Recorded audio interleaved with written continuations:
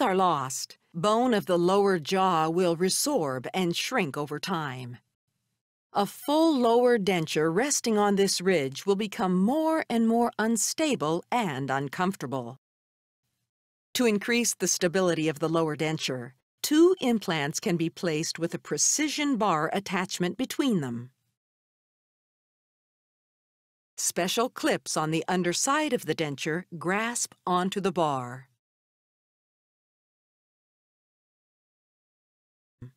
The rigid bar serves to help stabilize the denture.